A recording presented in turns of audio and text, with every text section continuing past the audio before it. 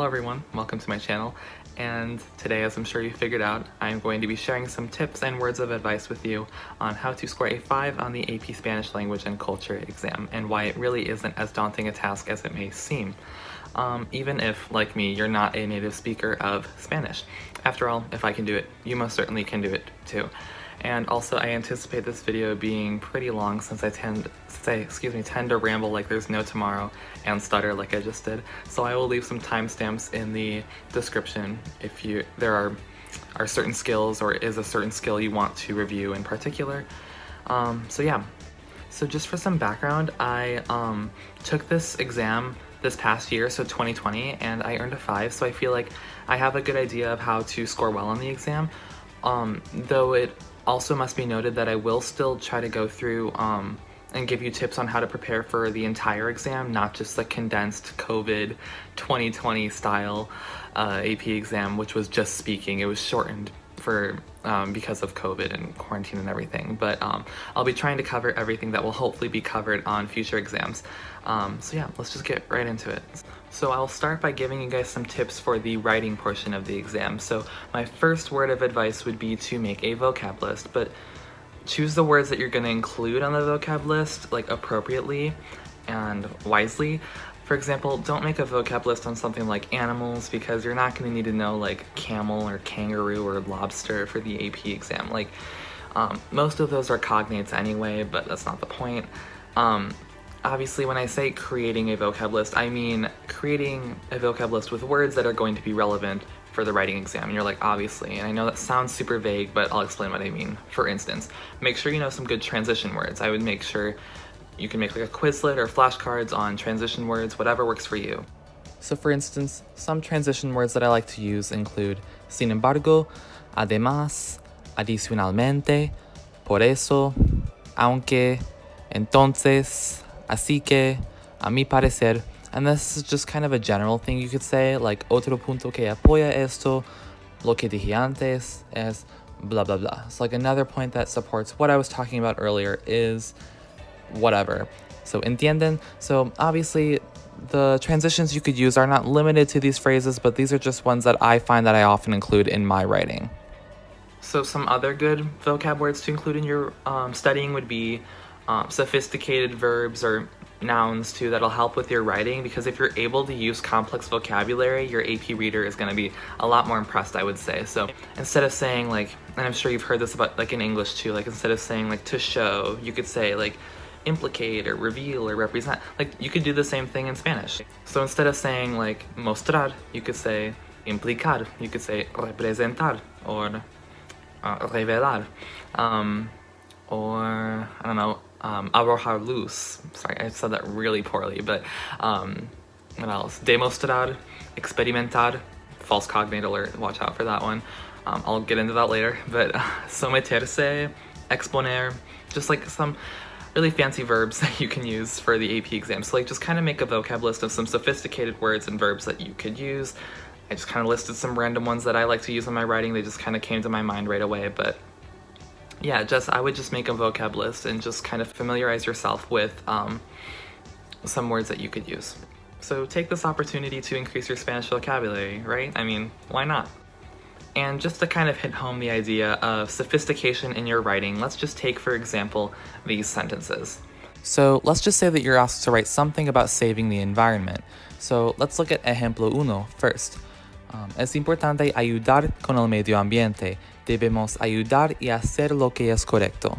Now, are these sentences grammatically correct? Yeah, absolutely. But if I were an AP reader looking at this, I'm not, but we'll pretend, um, I would notice the lack of complexity in the sentences. They're both very simple, short, there really isn't much to them. They aren't super nuanced. There really isn't a variety of verb tenses being used, and after all, it seems like there's not really a lot of vocab being used. Um, really, there's just a lot that we could add to this. There's a lot missing. So to me, just seems a little simplistic and a little redundant. So it's not a terrible response. Just given this, this would maybe lead to a three or four just because it's grammatically correct. Um, but we could add a little more to this to bump us up to that five. Instead, let's say, Es importante que tomemos esfuerzos para salvar el medio ambiente para que podamos contribuir a un mundo más seguro y saludable. Afortunadamente, muchas personas ya han hecho esfuerzos para conservar el medio ambiente. Now, hopefully I didn't scare you off or overwhelm you, but um, this is certainly much more advanced, probably more advanced than what you need. But um, we have the present tense, we have the subjunctive, we have the infinitive, we have the present perfect tense. We also have afortunadamente, which is a fantastic linking word between the two sentences. We also have some complex verbs like conservar and contribuir, and um, uh, esfuerzos. I, I, think that would count as a complex vocabulary term. So um, overall, I feel like that this one is a lot stronger and will earn you more points on the exam. So again, just try to expand on your ideas and make your explanation super rich in vocab, verb tenses, and detail. So in this case, honestly, the more the better. One final note that I would like to mention is that whenever possible, I would also try to include uh, Spanish idioms in my writing. So, um, like phrases that don't literally translate from Spanish to English. So, that'll show the AP reader that you also have a cultural understanding of the Spanish language and can do more than just mere translation of basic phrases from English to Spanish, because that's what Google Translate is for, and we're better than that, right? You are, I promise. So, some examples of idioms would be ser pan comido, no importar un pepino o rábano, meter la pata, no tener pies ni cabeza, costar un ojo de la cara. So obviously with these idioms, they all have verbs in them, so um, you'll have to conjugate them depending on who or what you're talking about, but these would be super cool to include in your writing. And these are just some examples of ones that I've used before. So um, you can always look up and find ones of your own, um, just as long as they are easy for you to remember um, and broad enough such that you'll be able to incorporate them into your writing. So just make sure that they're broad enough and you'll remember them for when you're actually taking the AP exam. Now those are some general tips for both writing portions of the exam, uh, but now I'm going to briefly discuss each part of the writing specifically. So there, there's an interpersonal writing and a presentational writing. So I'll go over the interpersonal writing first. So interpersonal writing is 15 minutes long. That is, you will have 15 minutes to read the email you have to respond to and write your response. So 15 minutes to read the email and write your response. It's not a lot of time, but don't fret. Your response really doesn't need to be longer than a page. Really half a page would suffice. That is, if it's super detailed and vocab rich and has different verb tenses throughout and whatnot. The first piece of advice that I would give you for this part of the exam is to make sure that you're reading the email, reading the prompt fully. Read it fully be very, very careful that you're not missing anything because oftentimes people will miss. I know I'm not like an AP reader or a teacher or anything, but I know all the time where people lose points because they're not doing everything the question's asking them to do. Oftentimes in the email, there will be some specific questions that you'll need to respond to in your follow-up email that you're going to be writing. Um, and oftentimes they're kind of scattered throughout the email. So underline, number, star, whatever you need to do, mark up wherever you see wherever they're asking you to do something. So usually there are about two or three of them, so make sure you answer all of them. And just so you're aware, you probably only need like a couple sentences to answer each of those sub-questions. Really, you don't need a whole essay for each one. You don't have that much time. So if you're reading the email for like three or four minutes, you're only having like 10, 11 minutes to write. So really you don't have time to respond to them super in depth. So yeah. The next thing I would note is to make sure that you ask some sort of question in your um, response. Sometimes in the email, they'll tell you to follow up with them and ask them a question back. Other times they won't, but you still should have a question back to whoever you're emailing in your email somewhere. I like to include mine at the end. For example, if the email you're receiving is something about an interview for some company, maybe ask whoever you're um, emailing something about the time place, like, you know, what would work for him or her in terms of like when the interview is going to happen, like just something like that. But make sure you have like a question in your response somewhere. Also be sure to use the correct heading and closer because the interpersonal writing is formal. So like in English, we would say, Dear Mr. Mrs. blah blah blah, uh, sincerely insert your name here. Um, for the Spanish email, you'll do something similar. So you'll start with estimado for if you're emailing a male, um, estimada if you're emailing a female. So estimado señor, blah, blah, blah, estimada señora, blah, blah, blah. So estimado would be like dear, whoever. And then at the end, after your email, you're gonna put atentamente, so like sincerely followed by your name. Also, like I said, since it's a formal email, you're going to be using usted, not tu. So yeah, if you're a little too used to addressing your Spanish teacher by tu, or you don't use usted very much for whatever reason, you'll want to get in the habit of doing that because that's probably the number one mistake on the interpersonal writing. Yeah, because I think almost always, if not always, it's going to be a formal email, so you're going to want to use usted. So, entienden? Okay. So now for the presentational writing, you will be given 15 minutes to read and listen to the sources provided to you, and then you'll have 40 minutes of actual writing time. Um, so for this part of the exam, you'll need an intro, two to three body paragraphs, and a conclusion. So just like most essays you've probably written in your English class before. So the only difference is it's, well, obviously in Spanish, and the conclusion really only needs to be like a sentence or two, honestly. So don't worry if you're running out of time, like you're on that last body paragraph trying to rush to get that conclusion in. You honestly don't really need one. I doubt you'll lose any points for not having one. You, It's really just to bring everything back together um, and restate your thesis, but yeah.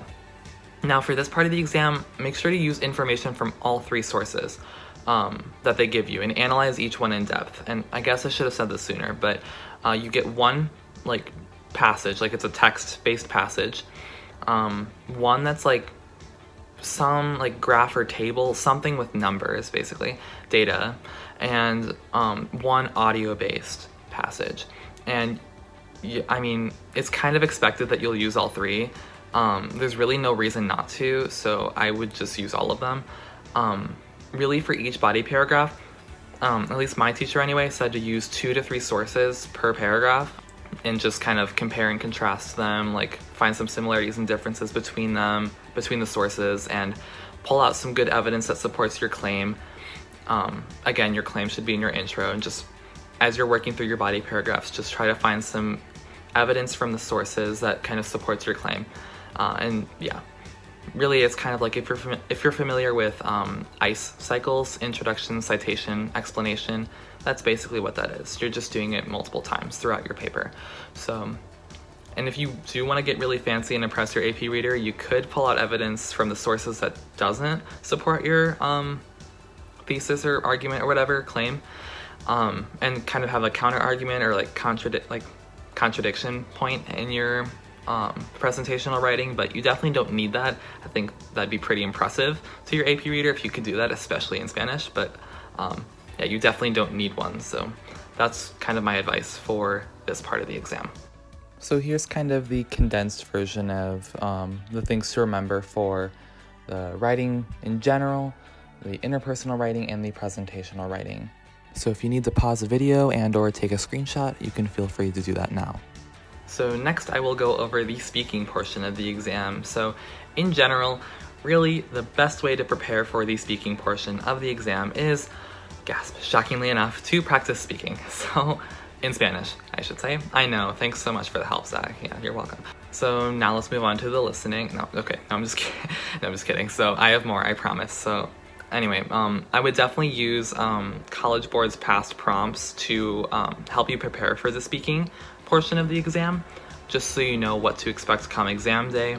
I believe there are also um, uh, student samples um, on the College Board website, so like student samples, like this student earned a five, and you can hear his or her response. Um, I mean, they also have like poor examples, but I don't know why you'd want to listen to those ones. Like, I would listen to the high scoring samples, and um, I can provide a link to that in the description if you would like. Um, so yeah, I can do that.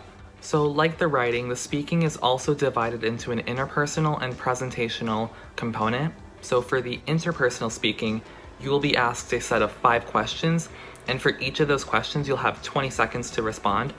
Um, so it can be a little daunting at first because you really aren't after hearing the questions, you really aren't given much time to prepare your responses. Although, before the audio starts, you will be given some background information, like in regards to who you're going to be talking to, um, whether it's like a friend or it's like um, someone who's going to be interviewing you. And when you hear that kind of information, you're going to be able to uh, be able to decide whether to use tu or usted. If it's like a friend, it's more informal. You can use tu. If not, then you'll want to use usted. Um, you'll also be given kind of information ahead of time on uh, in regards to like what the occasion is and why you're talking to this person. You'll also hear, after you hear like you get all the background information, um, you'll hear all the prompts via audio. Um, they won't be written down for you, so kind of sucks, but, and you'll only hear them once. You'll only hear like, once they ask you the question, it's just, you'll hear a beep and you have to start talking. So you won't really have any time to think over your responses. So um, really, yeah, you only hear them once, so you want to make sure you're listening carefully. Um, the thing that is probably most challenging about the interpersonal speaking is just not knowing what to say and just freezing. Like after hearing the question, you're just like, uh, uh, like you don't know what to say. Um, I think that's probably the, the trickiest thing about this portion of the exam. Um, since you're giving spontaneous responses. But what I would advise you to do is, well, above all things, to say something. Say something you might freeze a little bit at first, but say something. Like, if you don't say anything at all, I mean, you're guaranteed to not earn any points if you don't say anything at all. Even if what you say sounds atrocious, you're gonna get more points saying something than saying nothing at all. So, after all, it is much better to get in three or four sentences using the whole 20 seconds than to say a couple words in the entire 20 seconds or nothing. Like, um, just try to get in as much as you can um, because 20 seconds is not a lot of time. So that being said though, it is completely, I repeat, completely okay if you get cut off by the beep. After because after the 20 seconds are done you'll hear a beep and you have to stop talking. If anything though you want the sound to cut you off. It's better to use the whole 20 seconds than to end 10 seconds early. Um, speak as much as you possibly can. Trust me, use the whole time. When I took the exam, that happened to me all five times. For all five questions, I was cut off by the timer, so, and I still got a five. So you're not gonna lose any points for it, and if that happens, that's more than okay. I promise you, you will not lose points. Um, also, just like with the writing, make sure to include a variety of verb tenses. So I think for me anyway, some of the easiest ones to include um, are like the gerund, present perfect, the future tense, and conditional. Obviously you can include subjunctive too. Um, but just those ones that I mentioned earlier are probably the easiest ones to conjugate if you struggle with verb conjugation on the spot. So just try to do like conditional or present perfect. I think those are probably the easiest ones to just conjugate pretty like quickly. So um, yeah, I always find an excuse to use a variety of verb tenses, even if I wouldn't normally say whatever I'm saying like that normally. I just try to include as many as I can whenever possible. So I would often say something like, as seen in ejemplo uno, me encantaría hablar más con usted si es posible. Um, I would love to talk with you more if possible. Um, I cannot tell, tell you how many times I have used me encantaría or me gustaría. Um, it's just a very easy way to include the conditional tense into your speaking. Um, I guess I didn't think to put this in here, but you could also say like quisiera. Technically, that's imperfect subjunctive, but that means like I would like something. Um, that's a nice way to do it too. Um, as seen in ejemplo dos, an easy way to include the future tense would be like le daré una respuesta lo antes posible. Like I will get back to you as soon as possible.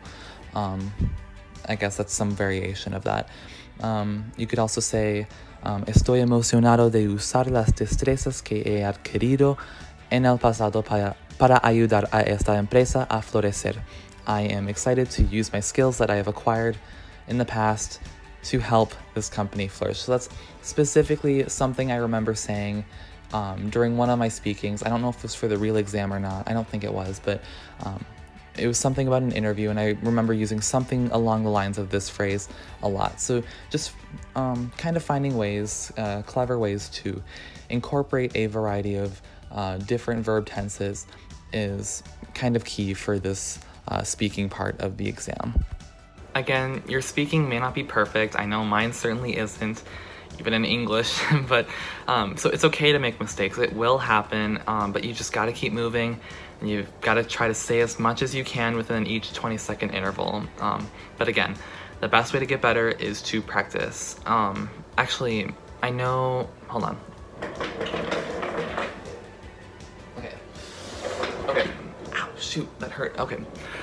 Just ah, sliced my foot. Okay, so anyway, so I know that Princeton Review Book, this is the 2019 edition. I mean, you're welcome to get like the most recent edition, but uh, this will be your friend. I used this to help study for the exam. It has, um, it comes with like audio CDs. I mean, I like took them out already. I mean, but like it comes with like three, or actually, I don't know how many. Um, it comes with some CDs, um, so you could practice speaking and like he hearing the interpersonal speaking prompts. Um, and it's fantastic resource. Totally recommend. Totally recommend. Um, very helpful. So there are several full-length practice exams in here, not just listening, but for all parts. So I found that super helpful and I would definitely take advantage of that. So now for the presentational speaking, you will be given um, the prompt on paper, which is nice.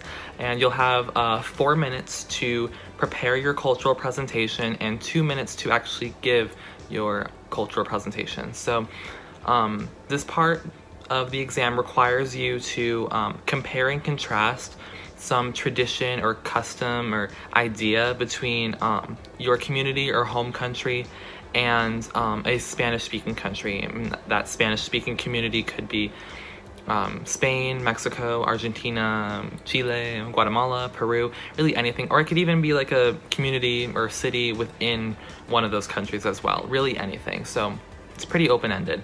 Um, I remember when I took the exam, I think I compared just my local community to that of somewhere in Argentina. So, I mean, it's really up to you, whichever you know the most about, like, uh, it's kind of up to you. So, yeah, anyway, so during the four minute planning period, I would definitely plan your very first sentence, um, like your intro to your presentation or something, because at least for me, if I didn't do that, I would often stutter because I do that enough anyway, so it'd be even worse if I didn't. So I would stutter, I just wouldn't know where to start. I, you know, but if you have an idea of what you want to say, like the first thing you're going to say, then, you know, right in the beginning, you'll be able to get the ball rolling and just kind of go from there.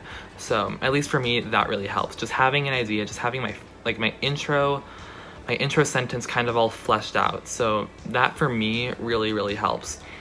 Um, also during this planning time, I would make sure to write down um, how I was planning to transition between when I'm talking about my community and that of a Spanish speaking country. So like I get like some transition sentences or phrases kind of in there as to like how I'm gonna do that. For example, let's say I was told to discuss the differences in gastronomy, food, uh, between a Spanish speaking country and my own community. So after my planning period, this is what I have written on my paper. And for the record, yes, I did time myself and it was like a couple seconds over four minutes. So um, I think that counts. Um, now, obviously, four minutes is not enough time to write out a whole script for your presentation. And honestly, you shouldn't do that anyway because you don't need to. Just have an idea of where you're starting, how you plan to wrap everything up, and when you plan to transition between the two communities you're discussing. So, some things I would like to point out for my outline are that, as stated previously, I do have my intro completely planned so I know where I'm starting. I have really pretty much that whole sentence started and I can just say that word for word. Um, and um, I would also like to point out that I have subjunctive in my intro, so I have reconozcamos. Um, I always like to have subjunctive or some other um, unique verb tense other than present tense in my intro so that the AP readers kind of like, um, they're gonna remember that I used that complex um, gra uh, grammar. You know what I mean? So like I'll use it in my intro and in my conclusion as well. So like uh, at the very end in my conclusion, I also have um, present perfect with los han unido. So, um, yeah. I also have subjunctive when I say nos enfoquemos and um, when I'm talking about the uh, United States. And I also have, um, when I'm doing my transition from the US to Spain, I have um, a transition phrase, a diferencia de, which is like unlike, so unlike the US, blah, blah, blah, blah, and then I keep going. And um, also, as you can see, I shortened a lot of words, I used some fragments, I was not writing in complete sentences when I'm talking about the United States and Spain. Um, a lot of those are just fragments because you don't need to write out your entire script because you don't have the time to do that. So, yeah. Of course, your outline does not need to be perfect because the AP readers are not going to be grading your outline, they're grading you on your speaking. So your outline does not need to be perfect, it just needs to be helpful to you. So whatever works for you, whatever, or whatever organization method works for you is perfectly fine for this. So if you would like to hear how I would actually give my two minute cultural presentation on this, I will have a link in the description for you. I know this video is probably already going to be super long as is, so I don't want to add another two minutes to this video, as silly as that sounds. Um, but if you want to hear how I'd actually give this um, two minute cultural presentation, I'll put a link to that in the description if you're interested. So then here's just a rundown on the main points to know for the speaking portion of the exam in general, for the interpersonal speaking, and for the presentational speaking. So feel free to take a screenshot or pause the video um, if that would help you. So now for the listening portion of the exam, um, really the listening and the reading, um, they're a lot more straightforward than the writing and speaking, so I'm probably not going to spend as much time going over them. Um, but again, I'll start with the listening. So the listening is multiple choice. It is 35 questions you'll have to answer in 55 minutes. Um, the reason why you're kind of given so much time is because some of that time is used to uh, is spent playing the audios. And the nice thing about um, this part of the exam is that all audios are played two times instead of one time for the uh, interpersonal speaking. So it's it's kind of nice you get to hear all the audios twice. Um, and yeah, so yeah, 35 questions, and there are five sets of questions. So it's like an average of seven questions per set. I don't know if it's exactly seven questions per set. Some might have more, some might have less, I'm not sure.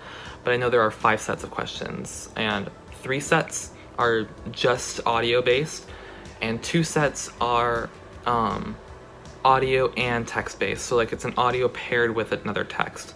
So obviously the three sets that are just based on audio are a little bit more straightforward.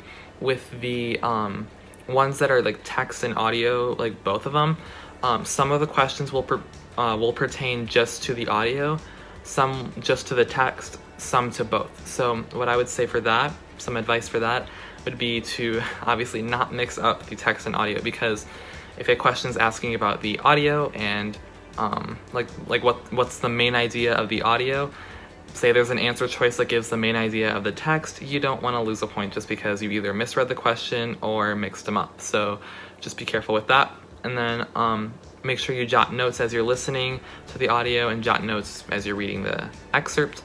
Um, and then for the questions that um, ask you about like both both the text and audio together, make sure you kind of know some commonalities, some similarities and differences between them because a lot of times you'll have some questions on that. Not all the time, but a lot of the time you will. So, um, and obviously the text and excerpt are going to be related in some way, but um, they might have different perspectives on the same issue or they might um, be I mean they're going to be connected in some way. So you're going to have to probably point out some sort of like uh, connection between them in one of the questions.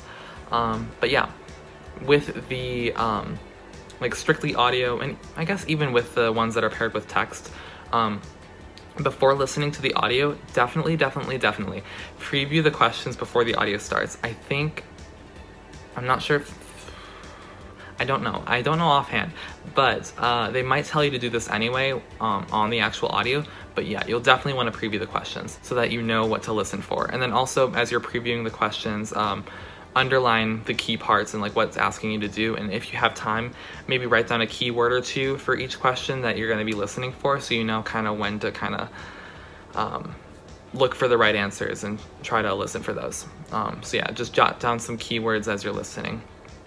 So obviously, listen carefully and um, scribble down some notes as you go. After the first time the audio is played, um, answer the questions if you haven't already. Like answer the questions that you're confident in. Um, and then the second time the audio is played, what I would recommend doing is just try to listen specifically for the answers to the questions that you struggled with the first time around. By already having answered the questions you were confident the first time around, um, you are then allowing yourself to um, only worry about the one or two questions that you struggled with that that time. So you'd be increasing your chances of kind of getting those questions you struggled with right if you're only focusing on one or two of them as opposed to all of them again, if that makes sense. If you can't figure out the questions the second time around either, don't worry, just go with your intuition. I know that sounds super obvious, but it's true. Your intuition, your gut's kind of your best bet. Um, oftentimes though, the vaguest or the most general answer is often correct. There have been times where I've been able to eliminate one or two choices and I'm still stuck between the other two or three. Uh, more often than not, the one that's most broad and or the one that pertains to the main idea of the uh, listening is the one that's correct. So when in doubt, go with your intuition. If you're really unsure, then just go with the broadest one or guess if you really need to. Um, but yeah, on any multiple choice, um, if I'm unsure of an answer, I will look at the answers and ask myself, okay, if I select this answer and by happenstance it's wrong, would I still be able to justify choosing this answer? Like if I, like if I, if asked to explain myself, would I be able to provide an explanation or reasoning as to why this answer is correct? Sounds stupid, but believe me, it helps me whenever I am unsure of the answer to a question or if I'm doubting myself. Um, so you can justify your answer, then there's a good chance it's right. Um, it's probably a safe bet. Um, if you're really unsure, again, just guess. You won't be penalized for guessing, and really you should answer every question even if you don't know the answer. Um, you're not penalized, so I would put down an answer. Um, but again, the best way to practice and prepare for the listening is to um, constantly be exposed to hearing spoken Spanish. Again, bring this up again. Princeton Review book. Oh, yeah. Um, yeah, I use this a lot and it came with, again, it came with some CDs with practice listening exercises as well. So um, again, I would totally recommend that. Also, if you check out College Board's past listening exercises from prior exams, um, I think that would be very helpful if that is of interest to you. Again, link in the descriptions. So here are just the things that I would keep in mind for the listening portion of the exam. So really, if you need to, you can pause the video now and uh, take a screenshot or just take a moment to look over those if you want. And finally, there is the reading portion of the exam. Um, as you can probably assume, the reading is a compilation of print texts. Some are fictional pieces, some are poems, um, advertisements, visual aids, announcements. The list goes on. But um, for this section, you will have to answer 30 multiple choice questions in 40 minutes.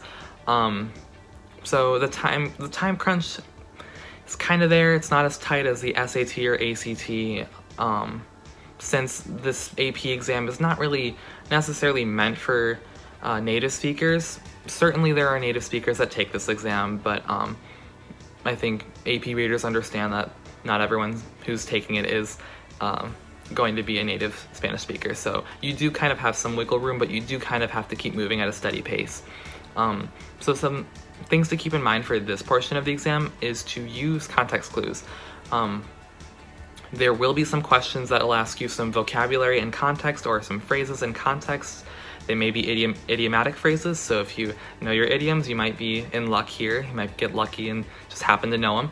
Um, otherwise, you can use your context clues. Because I will tell you now, even if you are a native speaker, you probably will not know every single word. I mean, if you're a native speaker, maybe, but probably not. Um, and if you're not a native speaker, you definitely will not know every single word, I promise you. Just like in English, when I'm reading classical English literature, I, I say that like I do it all the time, but I really don't. Um, when I'm reading like some like old text in English, I'm not gonna understand every single word, and I'm gonna have to try to piece things together. Same thing here. But anyway, my point is don't get so bogged down on one or two words if you don't know what they mean. So um, it's gonna happen, it's bound to happen. But um, what I would say, make sure you know context clues, um, know the main idea, be able to kind of piece that together.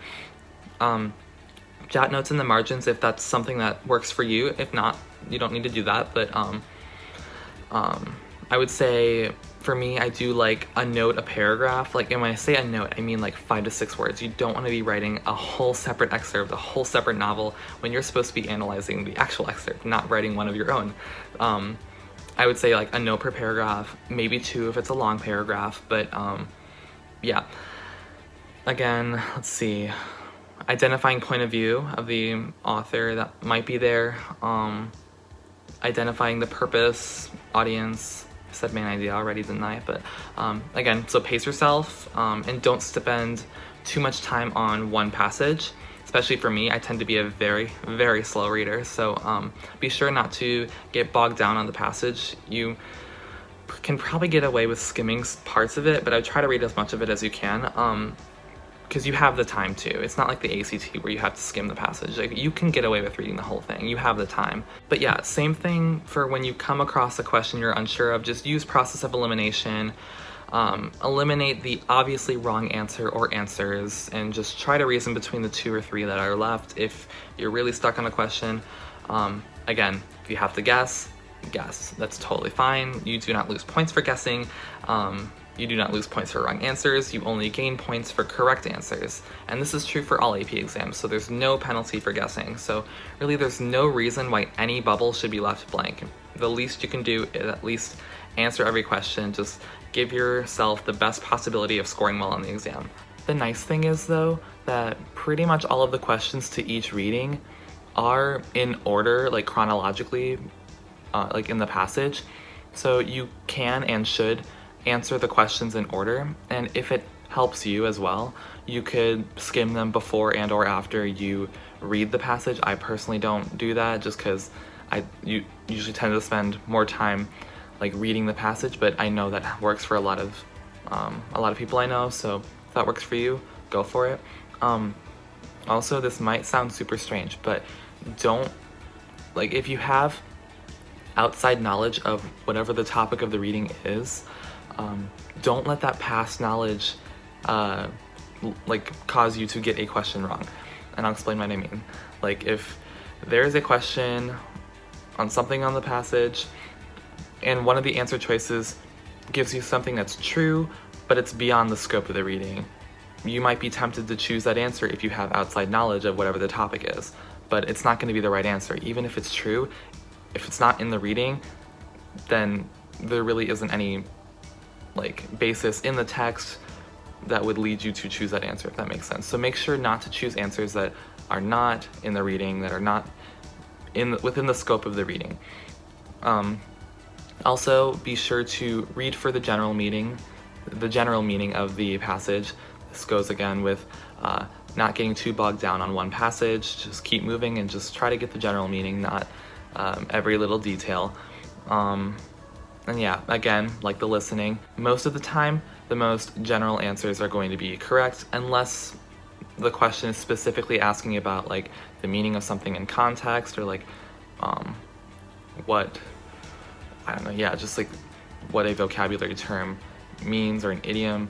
Um, so yeah, unless it's something like that, I would go with typically the most um, general answer so long as it's covered within the text. Also, just be careful that um, you're avoiding answers that are misconstrued. A lot of times, um, students have a tendency to choose answers that sound correct just because the terms used in the answer choice, uh, they remember hearing those, like, or reading those in the passage. Oftentimes, they kind of misconstrue it so that it's not true, but like the same terms are being used, if that makes sense. Um, oftentimes the correct answer won't have the exact terms from the reading. They'll have like synonyms of the words. So even if you remember hearing certain um, words in the passage and you see that in, in, an, in an answer choice, and you're like, oh, that must be right because that sounds the most right. Just make sure you're reading carefully um, and you make like a valid judgment before selecting your answer. But yeah, really that's kind of just my advice for the reading section.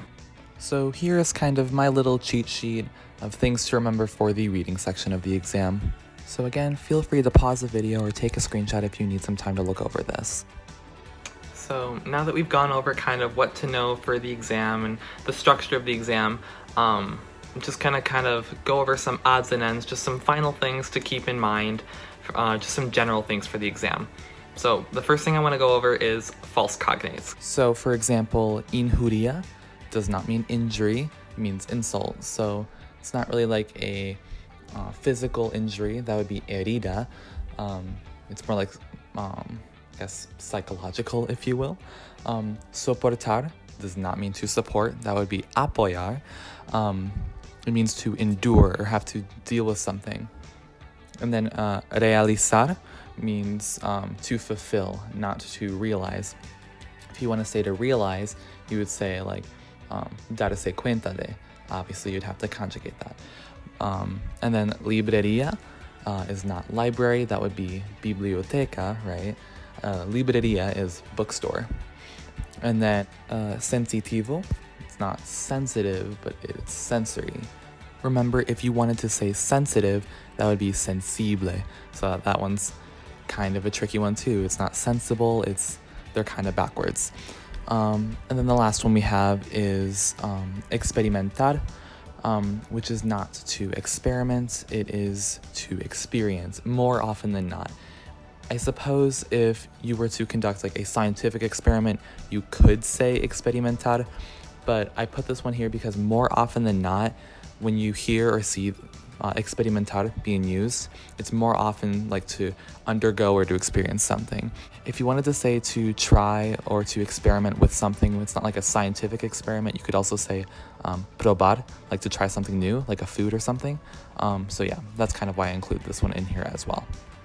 The next thing I would say is to, if you haven't uh, figured that out by now, is to know all the verb tenses. And yes, I mean all of them even imperfect subjunctive, pluscuamperfecto. There's some pretty nasty ones, but um, preterite, I guess, is pretty nasty in and of, in and of itself. But um, yeah, I mean, you'll want to know all the verb tenses um, and the correct conjugations for each one. At least, if you can't conjugate them for the like fast enough for the speaking, the least you can do is at least recognize them when they're in the passages or when you're hearing them, like at least be able to recognize them. Because I know a lot of people in my class um, got confused with, um, what was it, between the imperfect and the conditional tense, because they both end in ia, at least for er and ir verbs.